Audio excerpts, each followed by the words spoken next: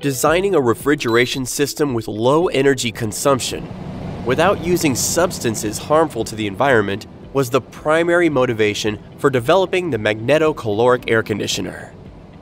The magnetocaloric effect, the working principle of magnet refrigeration systems, is the thermal response of some materials to the variation of a magnetic field. When a magnetic field is applied to a magnetocaloric material, its temperature increases. Conversely, removing the magnetic field reduces the temperature. Solid materials with magnetocaloric properties are used as refrigerants in magnetic cooling systems. When arranged in a porous matrix, the solid refrigerant particles make up the so-called active magnetic regenerator, AMR. The alternating flow of a coolant, which heats up and cools down as it flows back and forth through the AMR, continuously pumps heat from the refrigerated environment to the external ambient. Hence, the AMR beds are responsible for generating the system's cooling effect. The cooling cycle is composed of four stages magnetization, cold blow, demagnetization, and hot blow. The magnetic field applied to the AMRs is generated by the magnetic circuit.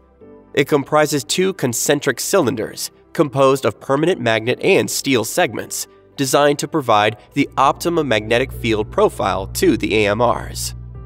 To amplify the system's cooling capacity, 16 AMRs are used, divided into 8 sets arranged in parallel.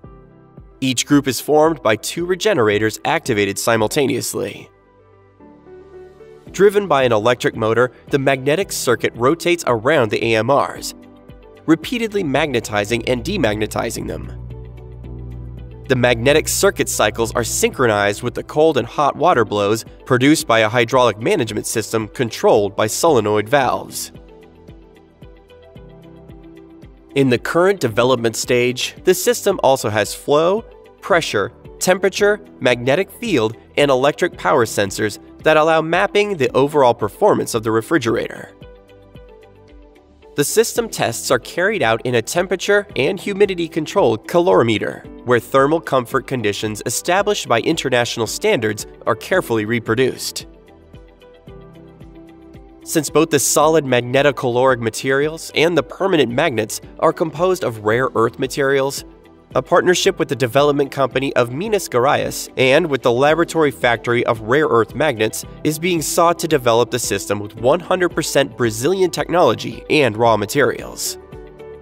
This project aims to reach the specification to operate an air conditioning system with a performance analogous to products currently available on the market.